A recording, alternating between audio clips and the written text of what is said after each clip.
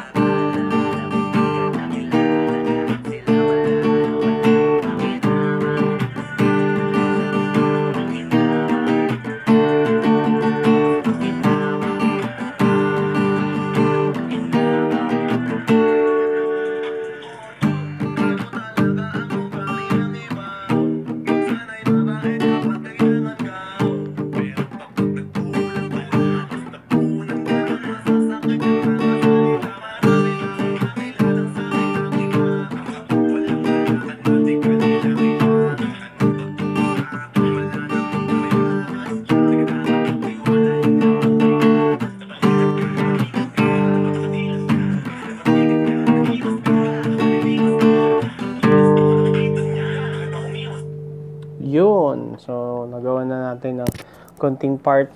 Ah, na-play natin yung maikling part ng song. Ah, hindi ko na-play na yung whole song kasi all the whole song same na yung chords and same din kung paano i-play. So, yung unang chord ay G minor. Ganito ang G, madalas sa mga beginner. Pero may sinasabing higher G. So, ito. G, yan. Kaso, G minor. So, alisin nyo to. Yan ang G minor. Papakita ko sa inyo sa first part yung guitar tabs para masundan mo. Susunod ay E flat. Paano ba ang E flat? Ganito ang E na alam ng mga beginner pero may higher E. Ito pero E flat. So atras mo na isang fret. So 1, 2, 3, 4, 5, 6. Bababa ka. Ayan. Then D. Paano man D? Atras ka lang. Ganitong D na alam ng mga beginner pero may higher D tayo na. Or power chords. Ayan. Paano i-play? Bali, tatlong chords lang pala yan ha. G minor, E flat, then D. Paano i-play? Ganito ulit.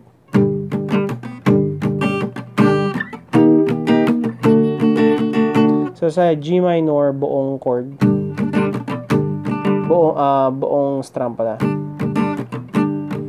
Then sa E flat, magi-split, split ng D. So kalahati ng kalahating strum ng E flat, switch agad. So again, E flat, switch agad ng D. Tapos balik ulit.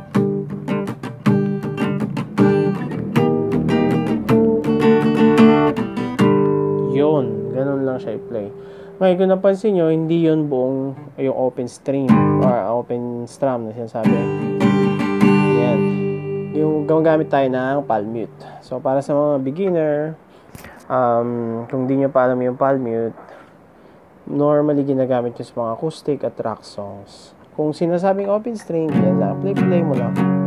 Pero ang palm mute, you're using your palm para i-press doon sa buong stream para makontrol mo yung pausing ng sound. Okay, may ipapause mo siya, may hihina mo siya, gano'n. Ganito. Pag walang palm mute.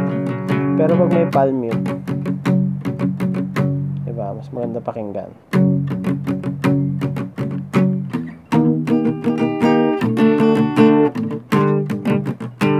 Yun. So again, palm mute. Yung strumming ay down, up, down, up, down, up, down, up, down, down, up, down, up, down, up, down, up, down. So again, down, up, down, up, down, up, down, up, down.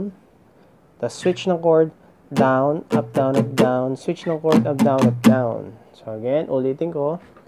Down, up, down, up, down, up, down, up, down. Switch ng chord, down, up, down, up, down, up, down, up, down.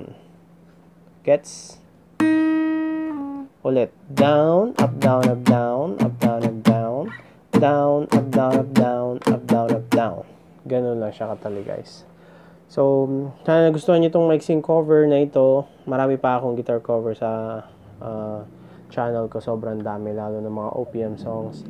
If you want to um, uh, watch more, then check my channel. At kung gusto nyo laging updated, click like on this video, subscribe. There's a subscribe button on the bottom part. And click bell button kasi um, gusto nating updated kaya lagi kung may bago tayong guitar covers. Okay?